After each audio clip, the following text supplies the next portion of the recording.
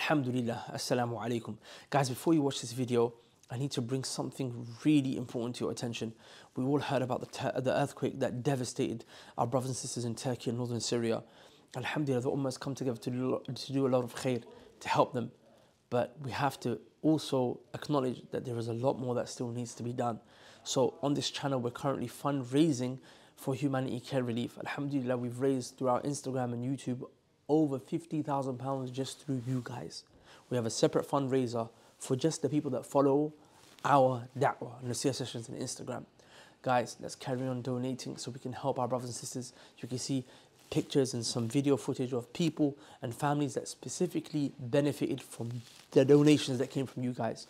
Let's carry on donating, give a little sadaqah before you watch the video. Perhaps due to that donation, this video will benefit you even more, maybe even be the reason why you get accepted into paradise and all your sins to be forgiven. Okay, brothers, inshallah, today I'm gonna go through a section of a book that a great scholar, Imam Ibn Qayyim, he wrote. It's a section where he brings a hadith from the Prophet sallallahu alaihi wasallam that instill fear in the heart of a person. They instill fear in the heart of a person.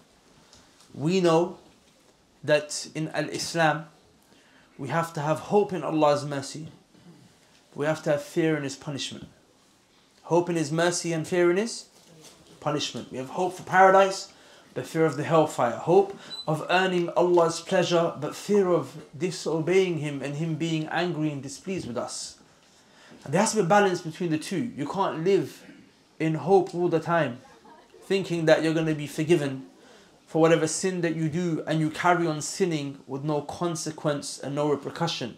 Likewise, you can't live thinking that you're going to be destroyed and you're going to go to hell because you've then given up in Allah's mercy and it is only the disbelievers who give up in the mercy of Allah.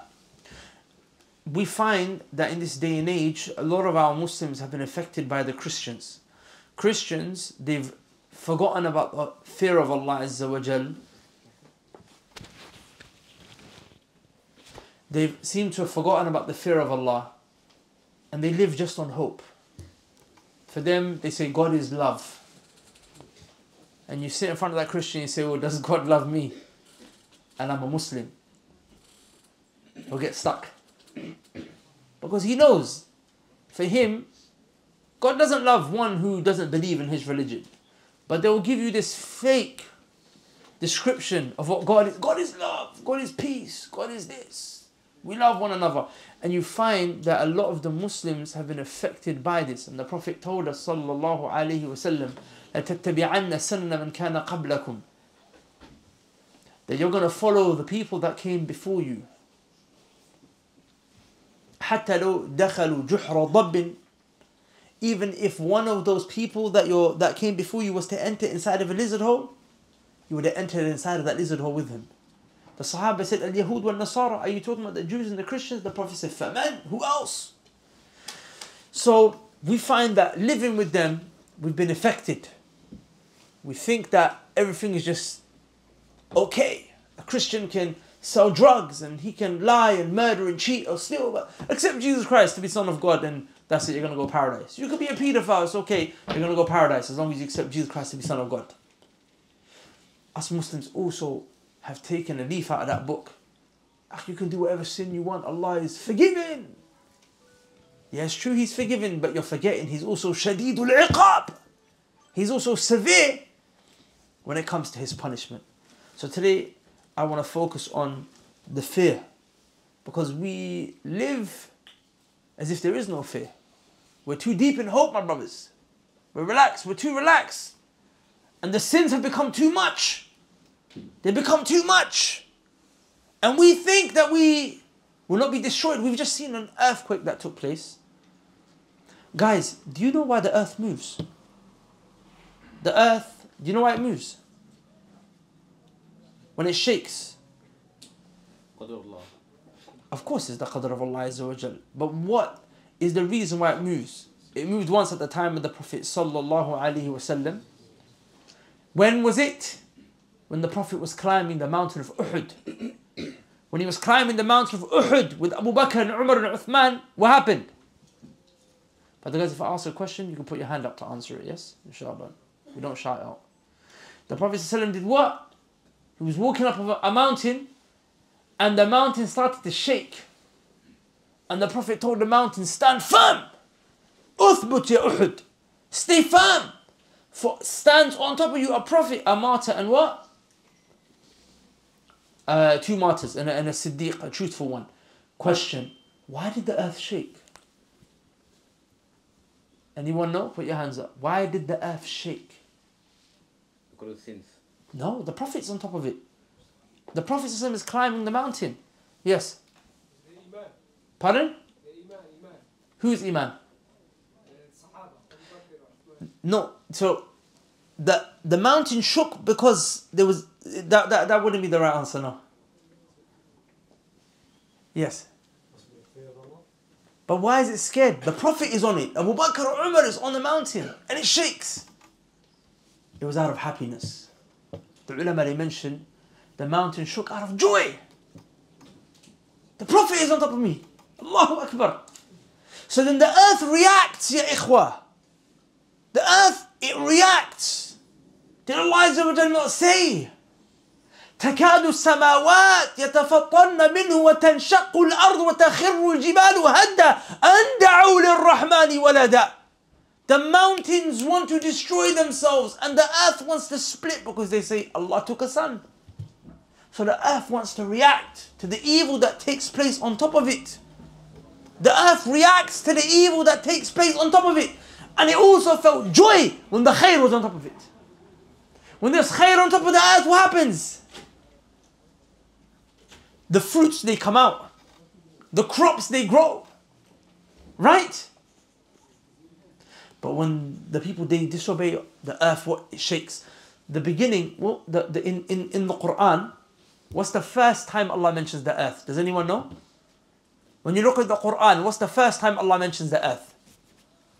Anyone know? Anyone here memorize the Quran? Any hufad? Any hufad of the Quran you memorize? Yes. Okay, the earth, when was it mentioned in the Quran first? Before that. it's near the beginning, Allah about it. But before that. وإذا قيل لهم لا تفسدوا في الأرض in Surah Al-Baqarah, the second page, Allah said, when it said to them, don't create corruption on the land. Don't corrupt the earth. Don't sin on the earth. Don't disobey Allah on the earth.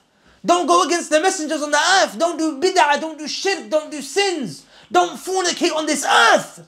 Don't violate the rights of Allah on this earth. Then what was the last time the earth was mentioned, ya ikhwa, in the Quran?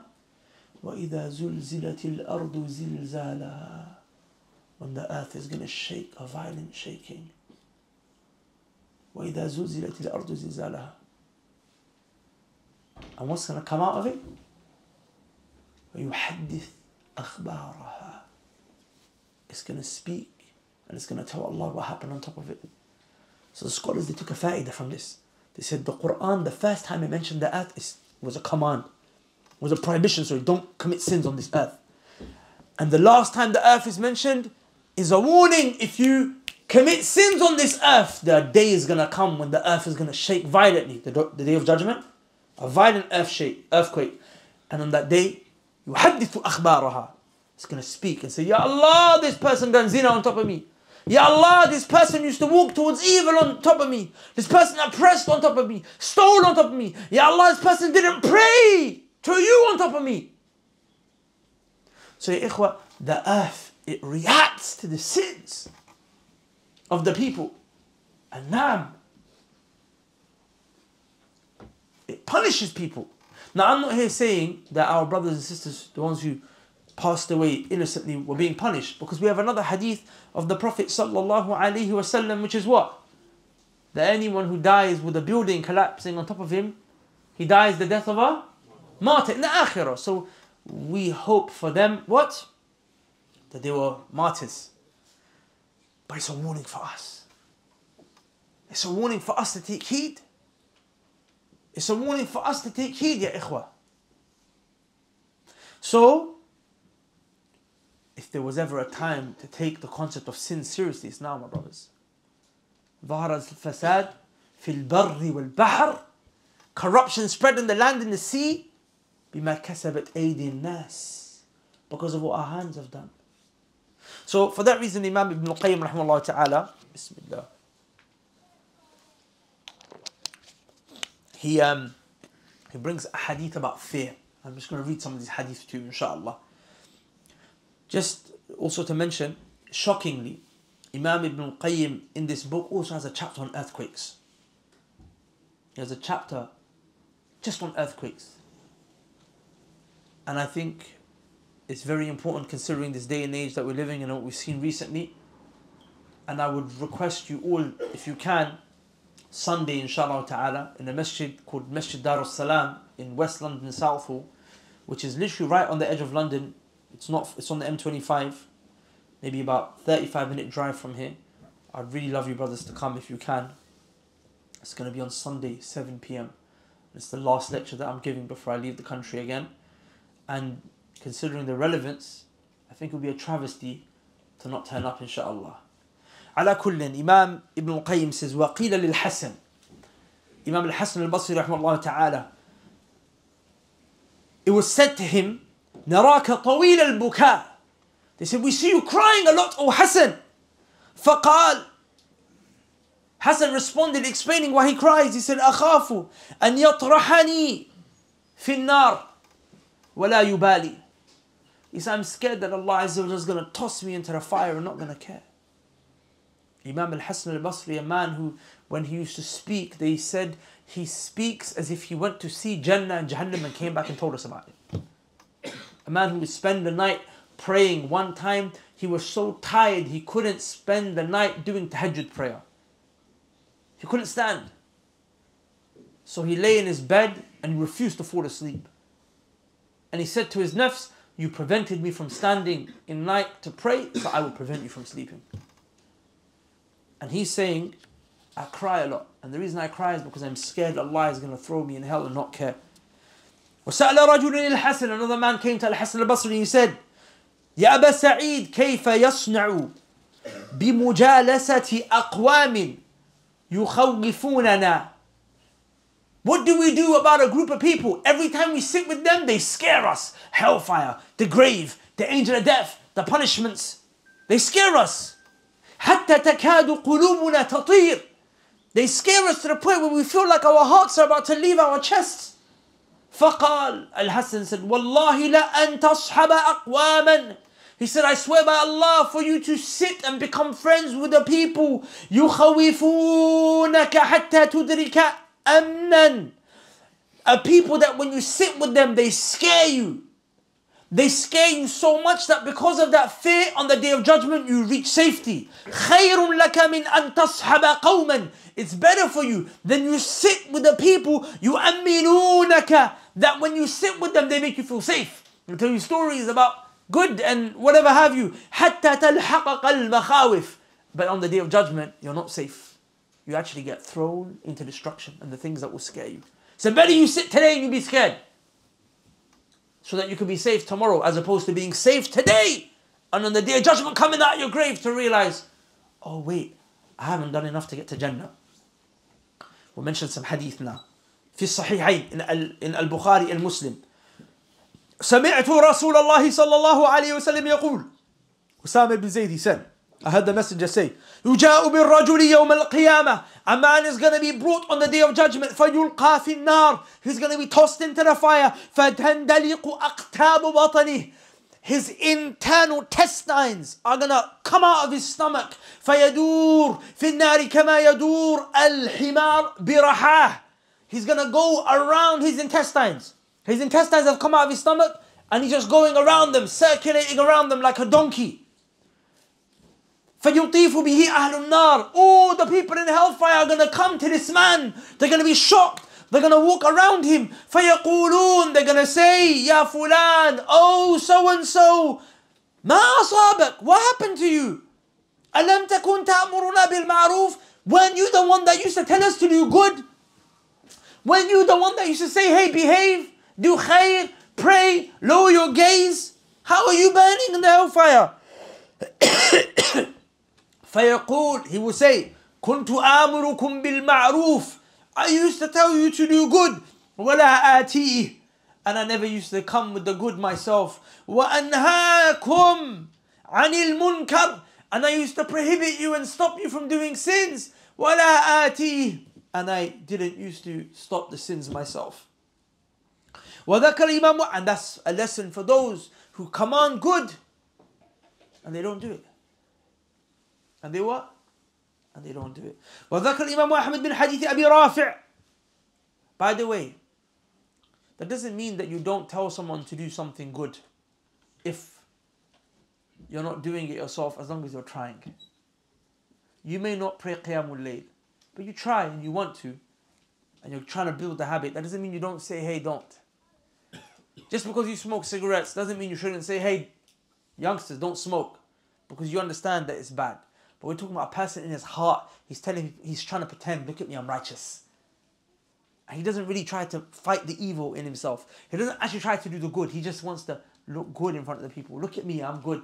Pray. But really, he's a shaitan. وذكر الإمام أحمد من حديث أبي رافع Imam Ahmad رحمه الله he mentions from a hadith from another Sahabi مر رسول الله صلى الله عليه وسلم بالبقيع The Prophet came to the graveyard one day فقال When the Prophet came to the graveyard he said uffin like uffin like he said uff to you uff to you You know uff when you get annoyed with someone فظننت أنه يريدني The Sahabi said I thought the Prophet was saying it to me فقال The Prophet said لا No I'm not saying it to you ولكن هذا قبر فلان But I'm referring to the man in his grave بعثته ساعيا على آل فلان I sent him to collect the sadaqah, the charity from so and so. And when you collect the charity, brothers, the charity money, it's not yours, is it? The wealth of an orphan, the wealth of the poor person, the wealth of the masjid. فَغَلَّ نَمِرًا He took a small item of clothing for himself. Imagine you bring back all of this wealth in charity, but you took what? A small item of clothing for yourself. Because he took that. The Prophet said he is now wearing an item like that made from fire in his grave. He's a Sahabi, Akhi. At the time of the Prophet, he used to go out and collect charity. One time he took one item of clothing, which was not just. What about the food and the drug money and the riba and the mortgages and the credit cards and the lying and the cheating? Borrow money from someone and you don't pay back. Pretending that you may pay people back the money that you owe them, but you don't. Stealing the rights of the people. وفي مسند أيضا من حديث أنس بن مالك رضي الله عنه another hadith in Muslim Imam Ahmed the صلى الله عليه وسلم he said مررت ليلة أسري بي على قوم the Prophet صلى الله عليه وسلم he's on the night journey when he ascended he said أسري بي على قوم I came to a people I saw people تقرض شفاههم بمقاريد من النار من نار they were what their lips were being cut with scissors that were made from fire. فقلت, the Prophet said, من هؤلاء? Who are these people? قالوا, the Prophet was told, خطباء من أهل الدنيا. These were the speakers from the people of the dunya. كانوا يأمرون الناس بالبر. They used to command the people to do good. وينسون أنفسهم. And they forgot themselves. They didn't remind themselves. أفلا يعقلون. Another hadith, the Prophet said, لما عرج, لما عرج بي, when I was ascended, when I was taken up to the skies, مررت بقوم, I came across a people, لهم أطفار من نحاس. They had nails that were made from copper. يخمشون وجوههم. They were scratching their faces. وصدورهم and ripping their chests. They were punishing themselves. فقلت, the Prophet said, من هؤلاء يا جبريل? Oh Jibreel, who are these people that are subjecting themselves to such torture. the Prophet said, هؤلاء, these are the ones. الذين يأكلون لحوم الناس. They used to backbite. They used to eat the flesh of the people. وَيَقَعُونَ فِي أَعْرَاضِهِمْ And they used to talk about their honors. Akhi, a statement that you say, talking about a Muslim backbiting, or a Muslim man, Muslim woman. Because of it, you rip what? Your face on Dejan. You know, one of the worst type of backbiting is some of us, we backbite a whole nation. Someone will say, oh, Somalis are like this. Someone say, Pakistanis are like that. You just backbite a whole nation. Not just backbite, you actually slandered. Are they all actually like that? You had a bad experience with one Pakistani, one Somali, one Afghani, one Turkish, one, maybe five, maybe now you're saying all of them are like you didn't just backbite, you slandered. Imagine that whole nation on the day of judgment comes and says, Ya Allah, this man he spoke about us unjustly. Aisha radiallahu anha signaled one time to describe one of the Prophet's wives as being short. She didn't even speak, she hand gestured.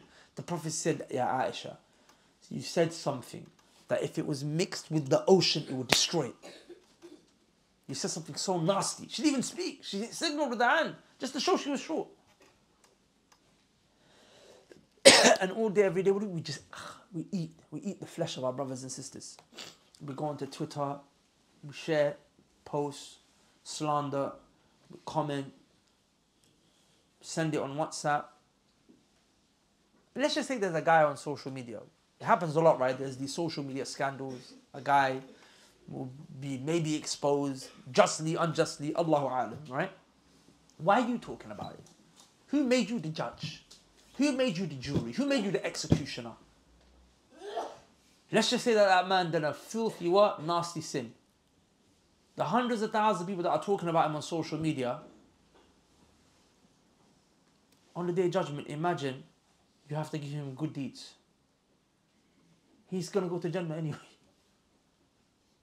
If he was bad, keep your mouth shut and let Allah deal with him. Why do you have to talk? Why do we have to talk, Ya? The Prophet told us if you guarantee me that which is between your two lips and that which is between your two thighs, i.e., your tongue and your private parts, I guarantee you Jannah. But some of us talk like we don't want Jannah. And then you say, Akhi, but I'm not lying, it's true what I said about him. And that's what backbiting is. The Prophet said if you said something true about him, then you backbited. And if it was a lie, you slandered. If it was a lie, that's something else. Who said backbiting has to is okay if it's the truth? Backbite is saying about your Muslim brother, ma yakrah, what he doesn't like.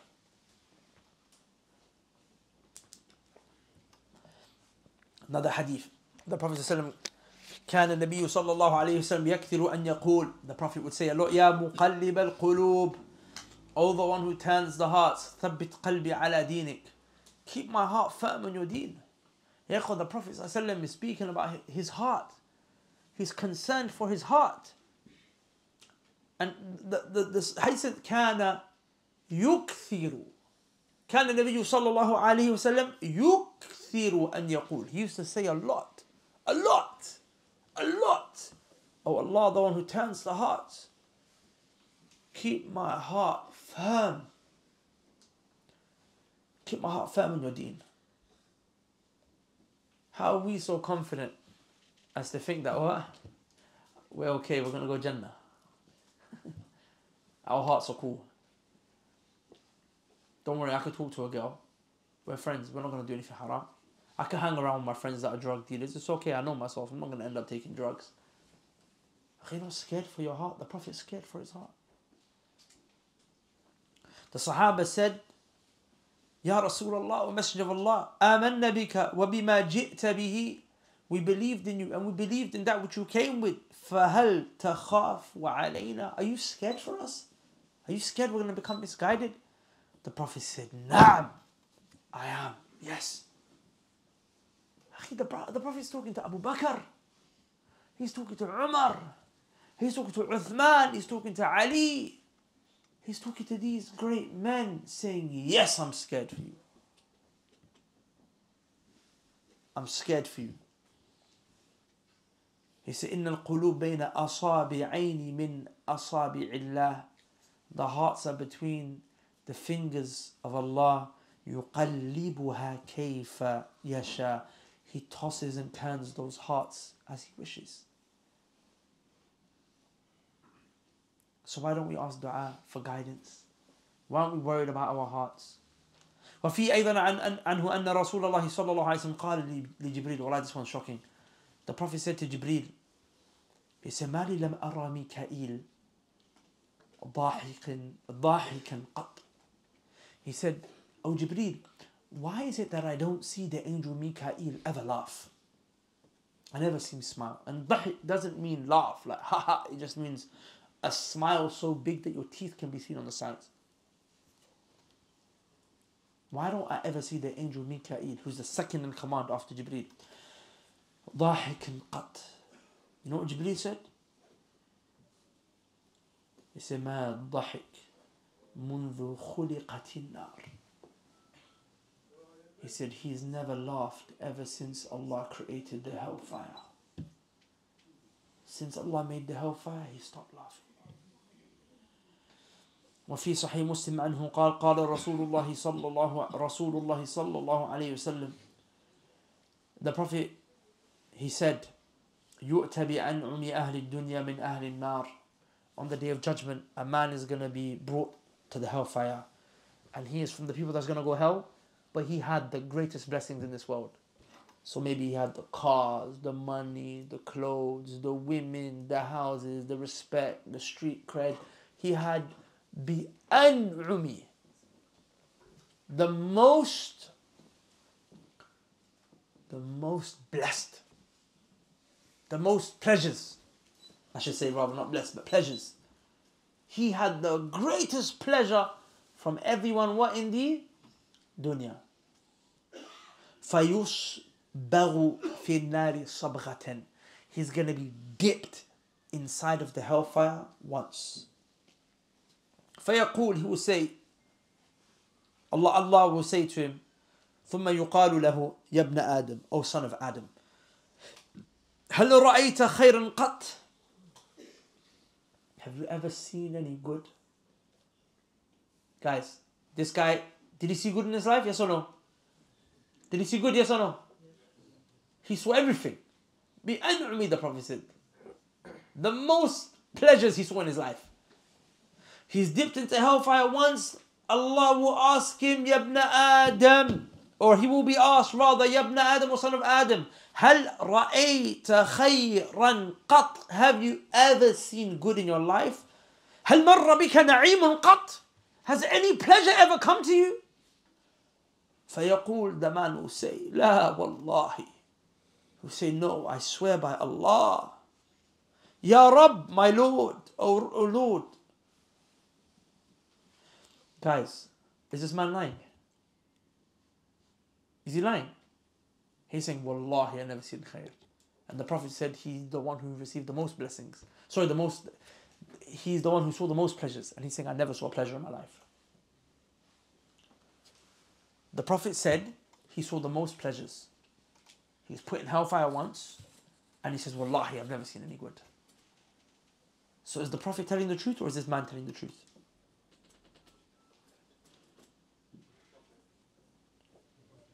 So if the Prophet is telling the truth, is this man lying? In front of Allah on the day of judgment. Wallah, he's saying, Ya Rab, I've never seen any good. Beautiful. The pain of the hellfire is so bad, it wiped out all memory of any good that he ever had. He's not lying. And neither did the Prophet. A'udhu billah. It's just that he doesn't actually remember hellfire. Being dipped in it once, akhi, is so horrific. Dipped once in, out, is so horrific that it will wipe out any memory of any joy. My brothers, when you go and sin, all right, a sin that we do quite often with sins with women, right? Zina, watching filthy things online. How long does that pleasure of that sin last for? Billahi alayk. Whatever sin you do, you smoke weed maybe, Maybe steal something. You take what? You cheat to buy a jacket or a pair of trainers. You mock someone, you insult someone, disrespect your mum. At whatever sin that you do, how long does the pleasure last for? How long does it last for? Days? Months? Minutes. Minutes. Wallahi.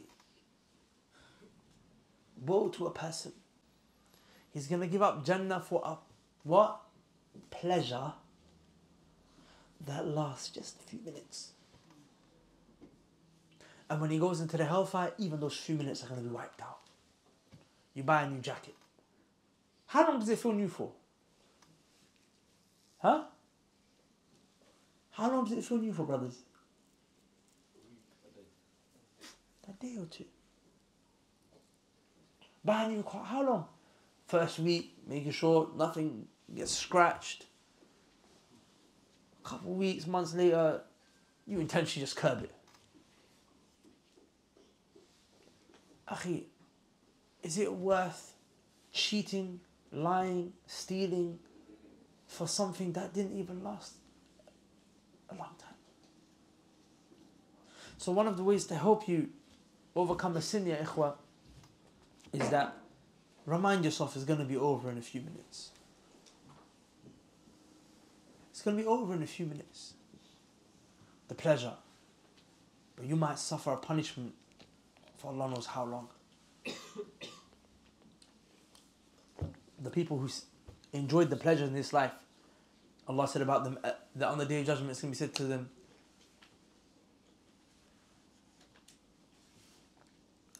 أذهب طيباتكم في حياتكم الدنيا واستمتعتم بها. In Jannah you have women. In Jannah you have rivers of wine, rivers of honey. In Jannah, you have what? Each one is a king. The, the, the lowest man in Jannah has a kingdom the size of 10 kingdoms in, of, a, of a king in, in this world. So you're chilling in Jannah. But the ones who wanted kingdom in this world, they wanted to be high in this world. They wanted money here. I'm not saying money's bad, but they went through haram to get it. They wanted women here. They wanted to blindfollow men as opposed to the Prophet. Worship their desires instead of worshipping Allah. And then they went about sin. Allah says,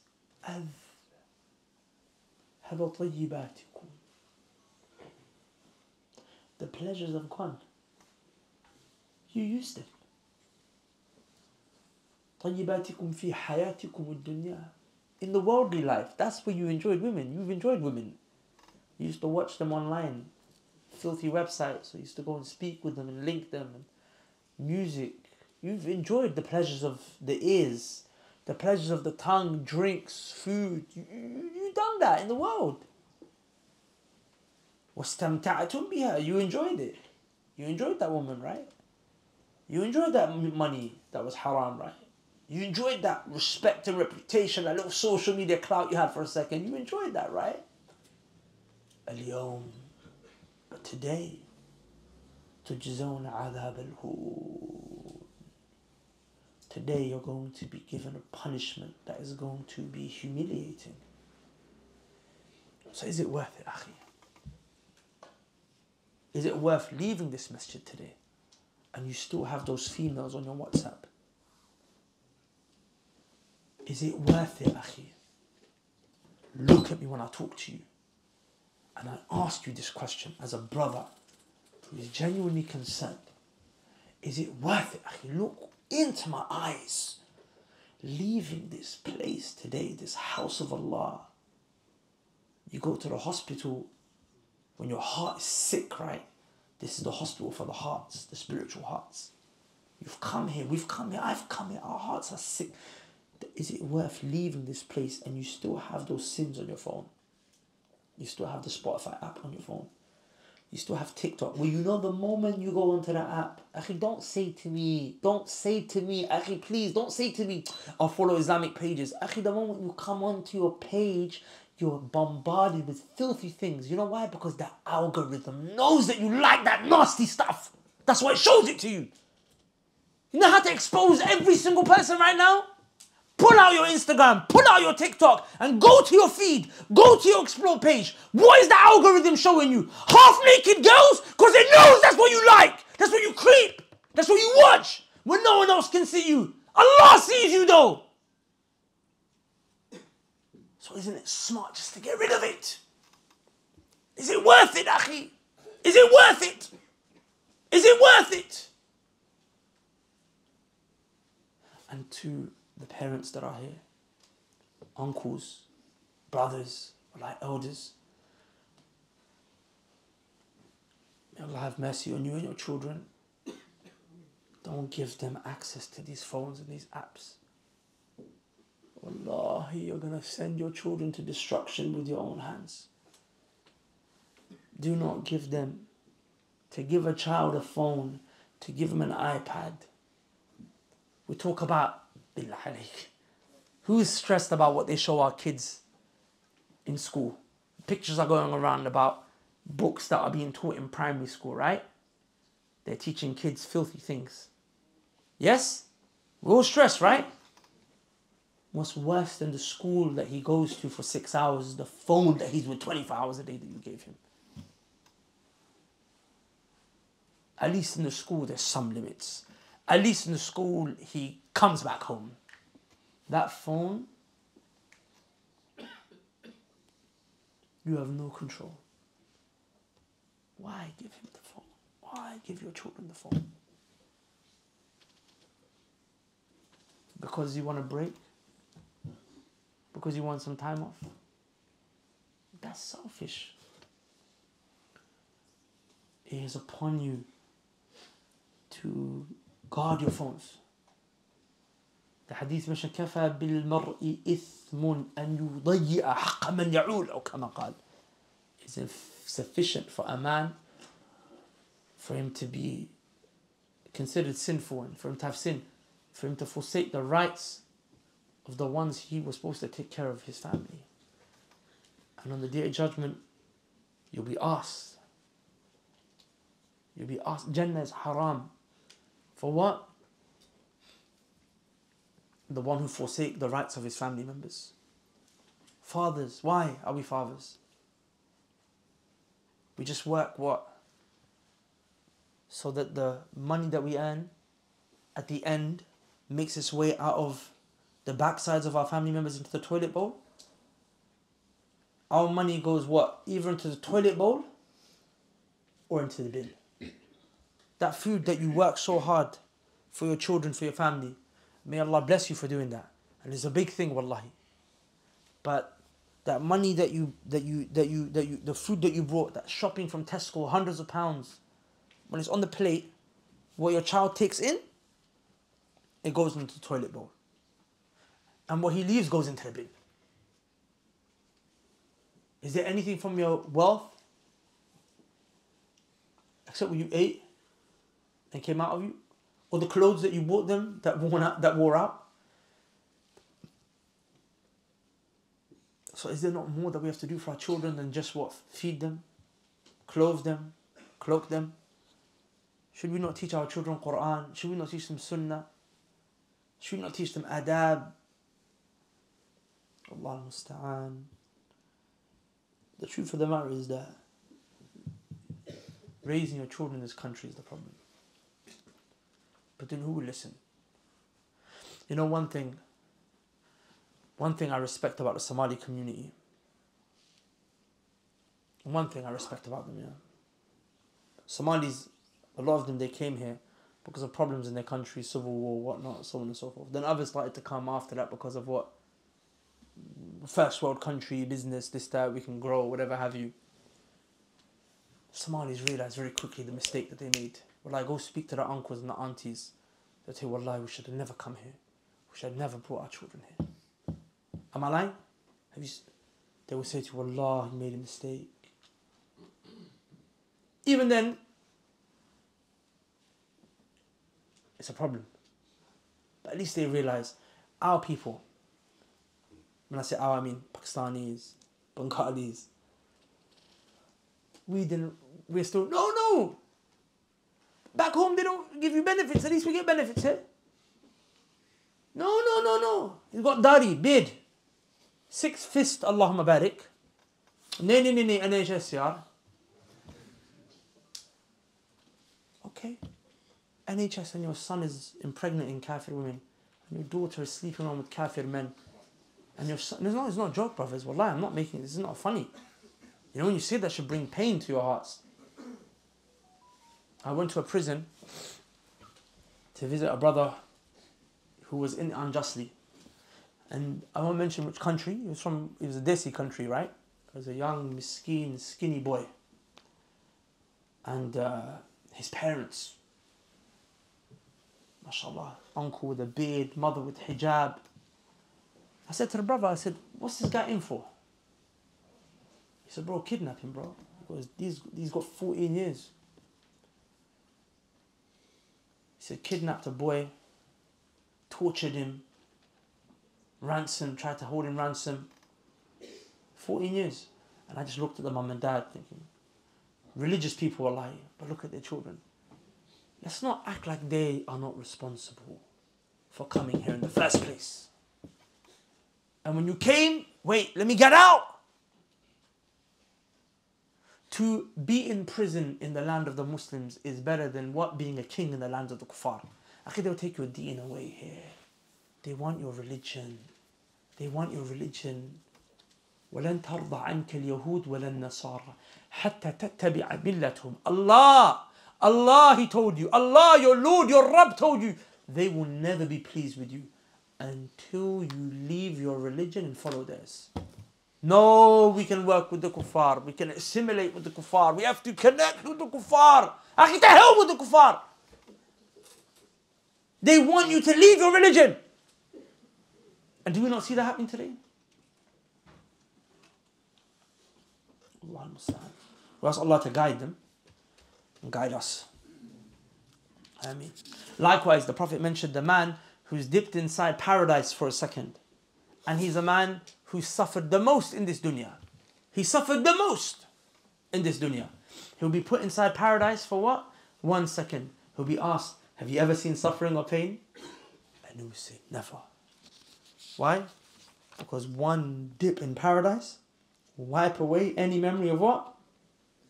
Any sin.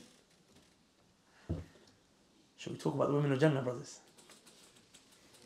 What Allah says about them. وَزَوَّجَنَاهُمْ بِحُورٍ عِينٍ And we will marry them off to women with these beautiful eyes. Allah أزواجا مطهرون pure وكواعب أترابا What does that mean, huh? That's for another day. You got to write on the poster that day, brothers only. I need permission slips from the youngsters, from their parents. I don't mind. I'll literally tell the sisters in front of them. This is what that ayah says. but um, today we're here, brothers, for the fit. Along hadith, the Prophet ﷺ talks about the journey of the soul when it dies.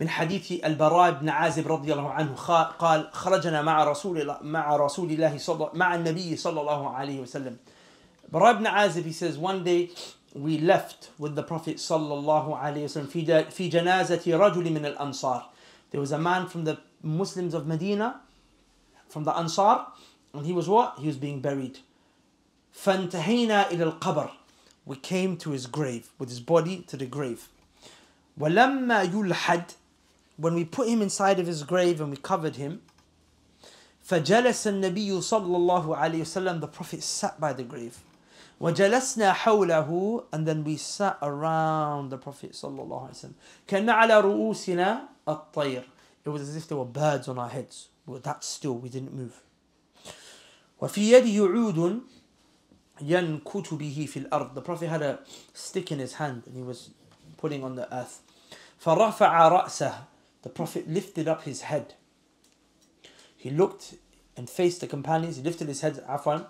فقال, he said, and the Prophet said, استعيذوا بالله من القبر. He said, seek refuge in Allah. From what? من عذاب القبر, from the punishment of the grave. Ask Allah to protect you from the punishment in the grave. And he repeated it what? Twice or three times. ثم قال, then the Prophet said, and he describes the situation of the good person, the good soul when he dies. He said, إن العبد المؤمن, that the slave who's a believer, إذا كان في انقطاع من الدنيا وإقبال من الآخرة when he's about to leave this world his body is about to what depart from his soul and when that's happening نزل إليه ملائكة the angels they start to descend and come down to him من السماء بيض الوجوه they come from the sky bright faces كأن وجوههم الشمس as if their faces are what suns glowing like stars معهم كفن they have a white they have a shroud you know the body what do you do you put the body in a sheet and you put it in the grave right so they have a sheet a shroud for the soul and this is what من أكفان الجنة it's from the shrouds of paradise وحنوط من حنوط الجنة and a fragrance from the fragrance of paradise right حتى يجلس منه مد البصر they sit around the person's body the one who is about to die ثم يجيء ملك الموت and then the angel of death comes حتى يجلس عند رأسه the angel of death will come and sit by the head of the person فيقول he will say اخرجي أيتها النفس المطمئنة will say come out you, you peaceful soul you beautiful soul come out اخرجي come out إلى مغفرة من الله ورضوان come out to the forgiveness of Allah and His pleasure فتخرج فتخرج تسيل كما تسيل القطرة من في السقاء أو كما قال it will come out of the body the soul will come out the way a drop of water comes out of a jug look how look how look how smoothly this is if I was to what pour this drop it comes out with no resistance look at that right it comes out what with no resistance very smooth right فيأخذها he grabs it وكما قال the angel of death he grabs the soul فإذا أخذ لم يدعو لم يدعوها في يده طرفة عين حتى يأخذوها فيجعلوها في ذلك الكفن he quickly takes what that soul and he puts it inside of that sheet that was from Jannah وفي ذلك الكفن وفي ذلك الحنوط and the fragrance فيخرج منه كأط فأخ فيخرج منها كأطيب نفحة مسك وجدت على وجه الأرض the most beautiful smell of misk is to come out from it that has ever been found on the face of the earth فيص فيصعدون بها then the angel death is what with the other angels that are with him they're gonna what they're gonna do they're gonna take this soul in the sheet from Jannah and they're gonna go to the sky with it they're gonna rise فلا يمرون بها على ملأ من الملائكة إلا قالوا they're not gonna pass the, any group of angels except every group of angels they pass they're gonna say to them ما هذا الروح الطيب they're gonna say what is this beautiful soul they can smell it they can smell it it's this beautiful soul right what is it فيقولون they will say فلان ابن فلان this is so and so the son of so and so بأحسن أسماء التي كانوا يسمونها بها في الدنيا they will call it by the most beautiful names that he was known by in the dunya some of you are known as a truthful one some of you are known as the one who's always looking after his mum some of you are known as what the one who's always in the masjid yeah that he's always in the masjid that's the brother who seeks knowledge that's the brother who went to Egypt that came back the angels are going to call him by the beautiful names that he was known by حتى ينتهوا بها إلى السماء الدنيا until they're gonna come to the first heaven. Okay? There's a door. They won't be able to go through it. فَيَسْتَفْتَحُونَ لَهُ They're going to ask permission. Can you open the door so we can take this soul up towards Allah? فَيُفْتَحُ لَهُ It will be open.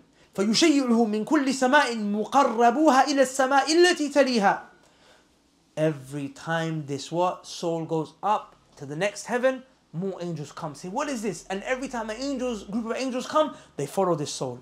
You know, like when there's a janaza, there's a body passing, what does everyone do? They run to it. So they can what? Take it to the grave. So all of the angels are rushing to this soul. It goes up, next group comes, they join. They go up, the next group comes, they join. they take them up.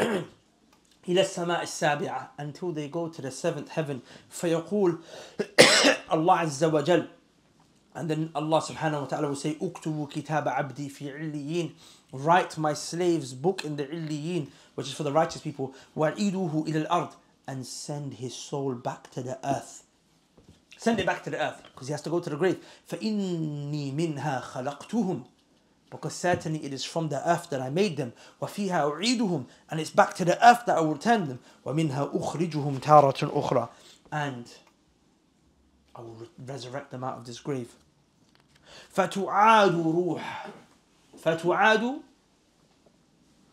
this soul will be what فتعاد it will be returned back now the soul will go back into the body it will go to the body the moment the body is put in the grave happens at the same time so you know as you're burying a body you know a person's dead you're washing his body you're carrying the janazah you're praying salah on him his soul is in jannah Eh, his whole soul is in the skies sorry not in jannah but in the skies and the moment you put his body in the grave the soul returns back and the soul meets what the body the moment it's in the grave فيأتيه ملكان now he's in the grave two angels will come فيجلسانه they're gonna make this person sit up get up get up get up get up get up get up فيقولان له they're gonna say من ربك who is your Lord فيقول he will say ربي الله عز وجل my Lord is Allah guys what does Lord mean means Rabb means master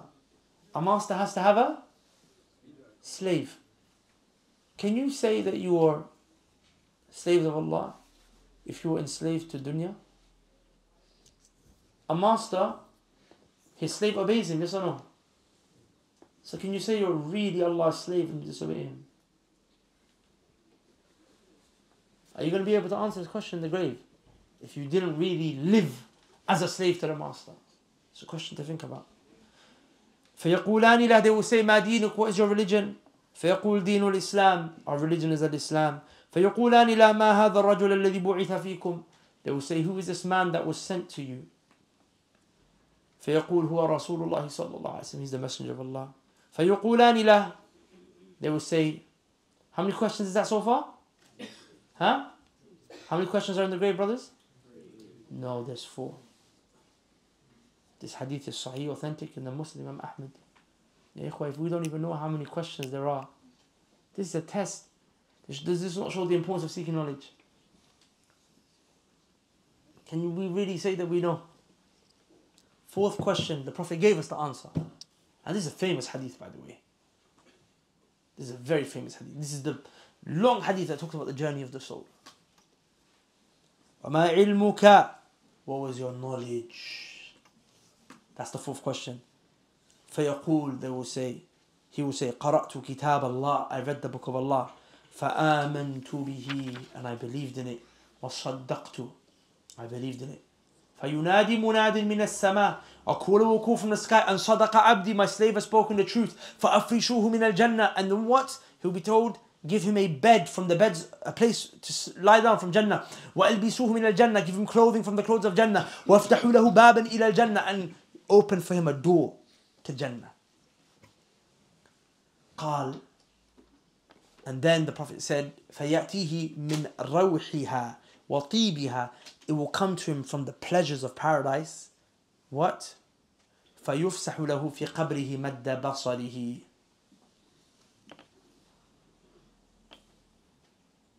ف- ويفسح له و- فيأتيه من روحها وطيبها ويفسح له في قبره مد بصره His grave will be opened. You know the grave seems tight. For him it will be opened wide. as far as eyes can see. ويأتيه, ويأتيه رجل and a man will come to visit him in the grave. In your grave, a man will come to you. حسن الوجه, he will have a beautiful face. حسن الثياب, beautiful clothes. طيب الريح, he will have a beautiful smell. فيقول, he will be told, he will say to him, أبشر بالذي يسرك هذا يومك الذي كنت توعد. He will say, glad tidings to you. This is the day that you were promised. You're going to become happy now. Who is this man? The man will say, Man ant. The person in the grave says, Who are you? فوجهك الوجه يجيء بالخير You have the face of a man that's going to bring me good. فيقول the man will say أنا عم أنا أنا عملك الصالح. He will say, I am your righteous actions. Akhi, your righteous actions are your best friend that are going to come to you in your grave. Your family's going to leave you. Your wife's going to leave you. That girl that you're crying over is going to leave you. Going to go marry another man. Going to say, I love you, babe.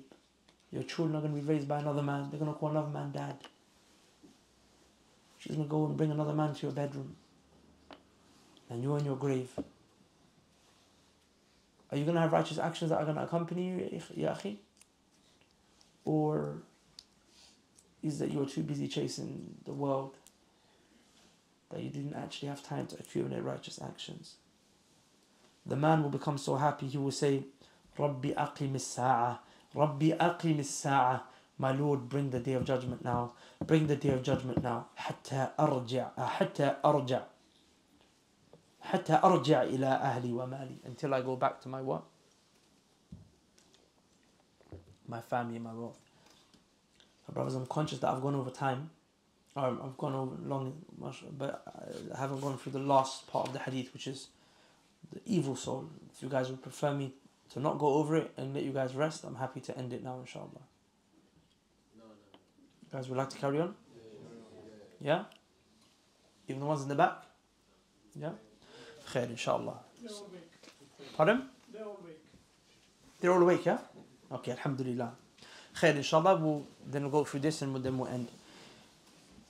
The Prophet said, وَإِنَّ الْعَبْدَ الْكَافِرِ But as for the slave that was a disbeliever, إِذَا كَانَ فِي انْقِطَاعٍ مِنَ الدُّنْيا When he's about to leave this world, وَإِقْبَالٍ مِنَ الْآخِرَةِ He's facing the next life. نَزَلَ إِلَيْهِ مِنَ السَّمَاءِ مَلَائِكَةً The angels are gonna come down to this evil soul from the sky. سود الوجوه, dark faces.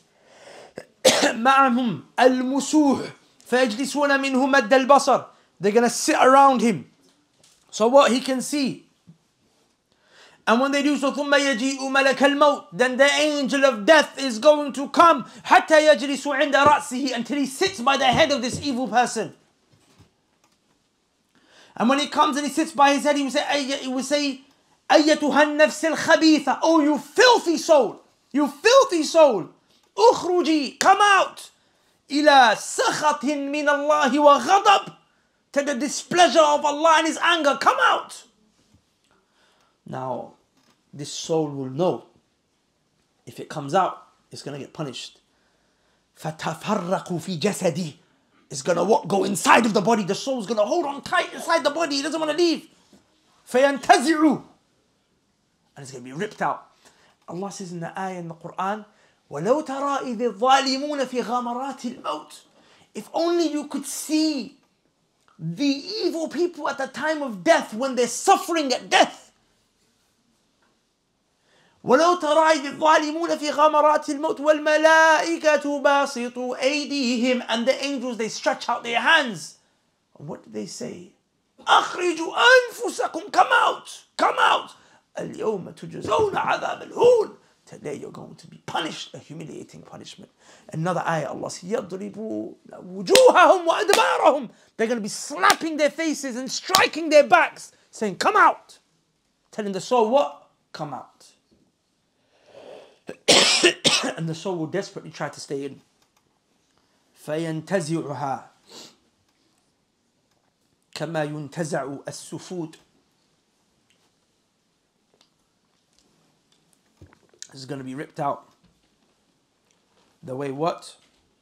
You take out min suf al-mubattal. The way you have a thorn, a stick with thorns, imagine it was wrapped around wool. Wool which is wet. And you take that stick with thorns and you rip it out. What happens to the wool? Rips. That's what that's what it's like when the sword is ripped out of the body because it's holding onto the body. إذا أخذها لم يدعوها في يده لم يدعوها في يده طرفة عين حتى يجعلوها في تلك. في تلك المسوح ويخرج منها a smell is gonna come out of the soul ريح جيفة the worst smell that could ever come out of a dead body if you leave a dead body for a few days the stench that comes from it is indescribable and the worst smell that can come out of this dead body will come out of the soul وجدت على وجه الأرض that can never be found on earth فيصعدون بها فلا يمرون بها على ملأ من الملائكة إلا قالوا ما هذا الروح الخبيث The angels are going to take the soul to the sky, same. Every time the angels they go by it because they can smell its nasty smell, they'll say, What is this filthy soul? فيقولون the angels say فلان ابن فلان it is the son it is so and so the son of so and so بأقبح أسمائه التي كان يسم يسمى بها في الدنيا he's going to be called by the filthiest names he was known in this world Akhi, if you're known as a liar imagine your soul is being taken up you're screaming crying your body's dead now you used to find clout and people calling you the hardest man on the block. The one who had what? The biggest drug line. The guy who was the womanizer, the one who had the most women. You found pride in that. Now the angels are telling you, oh, this is the womanizer. This is the drug dealer. This is the fraudster. This is the liar, the criminal. The one who disrespect. This is the one who used to disrespect his mom. The one who missed prayers. This is a nasty one. It's going to refer to you by that. And then the soul will come to the first heaven. Remember, it has to ask permission to go through the door, right? The angels will say, Can you let us through? Or they will, they will come there and they will not be given permission to let the soul through. And then the Prophet recited the ayah, لا تفتح لهم أبواب السماء ولا يدخلون الجنة حتى يلج الجمل في سم الخياط that the gates of paradise of the of the heavens will never ever open for them they will never go to paradise it's impossible for them to go to paradise حتى يلج الجمل في سم الخياط and then فتعاد روحه the soul will what? It will be thrown. It will fall from the skies and will fall into the grave at the time that the person's in the grave. وَيَأْتِيهِ مَلَكَانِ Two angels are going to come to him. Same angels. فَيُجْلِسَانِ They're going to make him sit up. Sit up! Sit up! Get up! فيقولان له They will say to him من ربك who is your Lord فيقول ها ها لا أدري He will say I don't know ما هذا الرجل الذي بعث فيكم Who is this man that was sent to you فيقول ها ها لا أدري I don't know And then he will be asked what is your deen before that story he will say likewise I don't know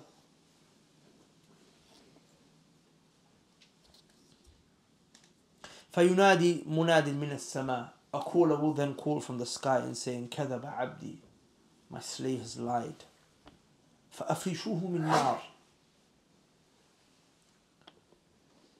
Give him a bed from fire ومن جهنم مهاد Their blankets are from fire Their beds are from fire Their mattresses are from fire وَمِن فَوْقِهِمْ غَوَاشٍ And the blanket on top of them is like fire. It's from fire. وَأَلْبِسُوهُ مِن نَارٍ Give him the clothes from fire. Dress him in fire. Make him wear the fire. وافتح له بابا إلى النار and open for him a door to the hellfire فيأتيه من حرها its heat will come to him وسمومها its flames fumes the poison ويضيق عليه قبره his what his grave will tighten on him حتى تختلف فيه أضلاعه until his ribs will what? overcome like this ويأتيه رجل a man will come to him قبيح الوجه a filthy face قبيح الثياب nasty clothes منتن الريح a nasty smell فيقول he will say أبشر بالذي يسوءك he said I give you the glad tidings of that which will what you will hate that will make you not happy هذا يومك this is your day الذي كنت توعد the one that you were promised you were told you will see this day if you carry on sinning carry on disobeying Allah you were told you see this day فيقول the man will say in his grave من أنت who are you فوجهك الوجه you have the face يجيء بالش- بالشر you've brought me evil فيقول the man will say أنا عملك الخبيث I am your filthy actions your nasty actions I am all the sins that you used to do فيقول then the man will say رب لا تقم الساعة My Lord do not let the day of judgment come ثم يقيد له أعمى أصم Another narration mentions a man will be placed over, a creature will be placed over him, a creature. له أعمى, he's blind. أصم, he can't hear. أبكم, this creature can't speak. في يده مرزبة, in his hand is what? A hammer. لو ضرب بها جبلا كان ترا كان ترابا. If a mountain was to be struck by this hammer, it will turn to dust. فيضربه ضربة The man will be smacked a hard smack. فيصير ترابا His body will what? become dust. ثم يعيده الله عز وجل كما كان Then Allah will cause his body to come back and become whole again. فيضربه ضربة أخرى And then he'll be smacked with this hammer by this creature another time. فيصيح صيحة He will scream a loud scream. يسمعها everyone will hear it يسمعها كل شيء إلا الثقلين everything will hear it except for the humans and the jinn have you guys seen that video online of a brother who takes a parrot uh, uh, uh, a bird to a graveyard he takes a graveyard and he takes the graveyard to the graves of the uh, kuffar and the bird starts screaming have you seen it ثم يفتح له باب إلى النار and then a door is opened to him from paradise ويمهد له ويمهد له من فرش النار he's given a bed from fire then Imam Ibn Qayyim goes on and on and on to mention many narrations there's just one last narration I would like to mention inshallah ta'ala before I conclude the Prophet ﷺ in the in the Musnad in the hadith is mentioned where the Prophet said من مات مدمن مدمن الخمر Whoever dies and he used to consistently drink alcohol. By the way, alcohol is haram because of the intoxicants. So you may not drink alcohol, but you smoke weed. If you take it consistently, this can apply to you. Now imagine you're not one who takes it, but you sell it. You're even worse now. You supply it. You what? You supply it. من مات مدمن الخمر Whoever dies and he was consistently taking these intoxicants, alcohol, we can understand from it, drugs. سقاه الله من نهر الغوطة. Allah will make him drink from the river of Ghuta. The river of Ghuta is a river in hell. قيل وما نهر الغوطة? The Prophet was asked, what is this river of Al-Ghuta? What is it? And the Prophet said, Nahar, it's a river. Yajri, it flows. Min furuj al mumisat, it flows from the private parts of the prostitutes. Yu'di ahl al-nar, rihu furujihin. Their private parts will have such a disgusting smell. Everyone in paradise who's being punished, who themselves have nasty smells coming out of them, are going to say, that is a nasty smell now pay attention. What's flowing out of the bodies of the people of hellfire? Pus. Blood. Why does it why why does a person bleed? Why does pus come out of you guys? Why? Did you just bleed naturally? Why do you bleed? When you are? Pardon? When you're wounded. So in, para, in uh, hellfire these people are being wounded. They're being wounded. They're being ripped and their blood is coming out and their sweat and their pus these prostitutes have also got blood and pus coming out of their private parts. So they're being wounded. Now the hadith doesn't mention it directly, but what we understand, they're being tortured where they used to do the haram from. Which is a reminder for everyone who does this filthy act of zina. Al jaza'u min jinsil amal. You will be treated the way you behaved. You steal, in the Sharia, your hand is what? Cut. You take the life of a person, of a Muslim unjustly, in the Sharia. Of course, I don't want anyone to start chopping anyone's hand because we don't live in a Sharia country. But if you live in, in the, in the, under the law of Allah then your life will be forfeited because of the life that you took. Likewise, you committed crimes with your private parts. It's your private parts that's going to suffer.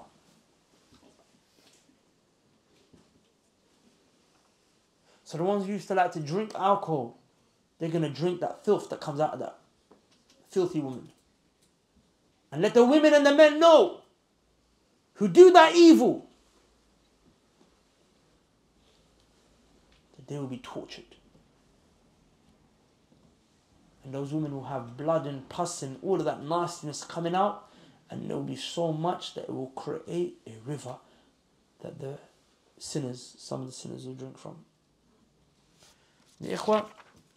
With that said, Na'am, Allah is very forgiving and merciful. He is and He will forgive all of your sins if you make tawbah. But you have to actually make a sincere tawbah. You have to leave everything behind. You have to cut it off. You have to regret the evil that you did. But please don't for, your, for a second think to yourself that you can go about life just doing whatever you want and you're going to be okay. I'll leave you with a statement from Imam Abu al-Wafa ibn Aqil. He said, احذره. He said, be warned of Allah. ولا تغتر. And don't be deceived. فإنه قطع اليد في ثلاثة دراهم. He commanded for what? Your hand to be cut just by stealing three silver coins. Akhi, just by stealing a phone, your hand can be cut. Less than a phone, your hand can be cut, akhi. Is that small? The Prophet said, Wallahi, if my daughter Fatima stole, I would cut her hand off myself. That's the, that's the hukum of Allah. There's no two ways. If you get caught, your hand's gone. So now Allah is forgiving and He's merciful. But for just three dirham, He decreed that your hand be cut. وجلد الحد في مثل رأس الإبرة من الخمر drinking a little bit of alcohol little bit the result is for you to be what lashed on your back وقد دخلت امرأة وقد دخلت وقد دخلت امرأة النار في هرة a woman was placed in hellfire because she tortured a cat a cat أخي a cat. So don't torture human beings, don't violate human beings. Right? واشتعلت الشملة نار على من غلها وقد قتل شهيدا There was a man at the time of the Prophet ﷺ, he died in battle as a martyr, as a shaheed, right? And the Prophet wasallam, he said he's in hell because he stole something from the war booty. So na'am, Allah is very merciful and forgiving. But He ordered for your hand to be chopped if you steal three silver coins and for your back to be lashed 80 times, if I'm not mistaken, for a small bit of alcohol. A woman was put in hellfire for torturing a cat, and a man who died in battle went to hell because he stole something. So is it easy, brothers? Are these sins easy or are they big? Massive. Fudayl ibn Iyad rahimahullah said, don't look at how some of the Salaf would say, sorry, don't look at how small the sin is. Look at how great the one you made the sin against is. And Fudayl ibn Iyad used to say, every time you belittle a sin before Allah, Allah sees it as a big thing. So the punishment is greater. And every time you make a sin very big that you did, you make a big deal out of a sin that you did, it becomes small to Allah. He said, I'm going to let it go. Akhi, all of your sins, Allah can forgive you. But you have to earn that forgiveness. إِنَّ الَّذِينَ آمَنوا Certainly those who have iman. إِنَّ الَّذِينَ آمَنوا والذين هاجروا وجاهدوا في سبيل الله أولئك يرجون رحمة الله Who hopes for Allah's mercy? Allah says, the ones who do righteous deeds. If you're not doing righteous deeds, there's no hope. Hope is for the one who does, who's trying, who's fighting, fighting. My brothers, I can guarantee to you almost, and I hope I'm incorrect here, but I've been doing da'wah for over 10 years. And everything is just a consistent cycle. If you do not remove the sins that you're connected to through your phones, now, today, before going home, it's going to be hard. And you don't know if you're ever going to come back into a masjid. Your body might not die, but your heart might. And that's the worst death. Please, do the right thing.